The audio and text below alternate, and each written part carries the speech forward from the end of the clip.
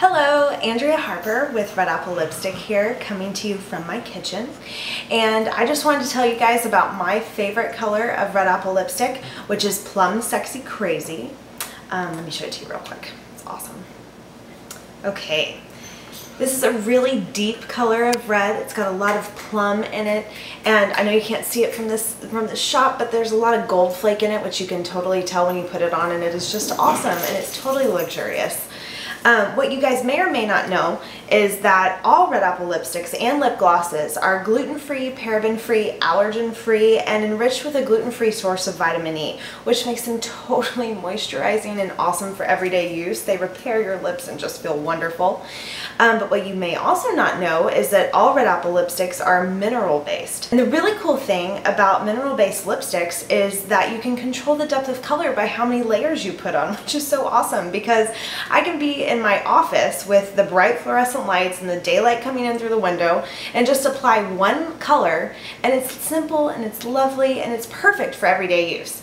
And then I can go outside when it's dark, go out to dinner, and apply a couple more shades, and all of a sudden it's transformed into this deep, wonderful, plum, sexy, crazy color.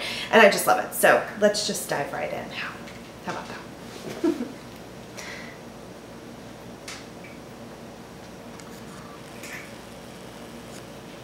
Obviously this will be my daytime color.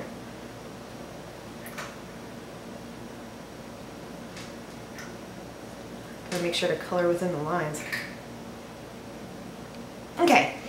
Hmm. So perfect daytime color, it's wonderful, and I can just wear it with any makeup that I'm wearing. Even if I don't wear a lot, a lot of heavy makeup, which I don't during the day, it's still perfect. Okay, so then I go out at night, let's just pretend it's rubbed off just a little bit. I go out at night, I'm gonna add on a couple of different layers.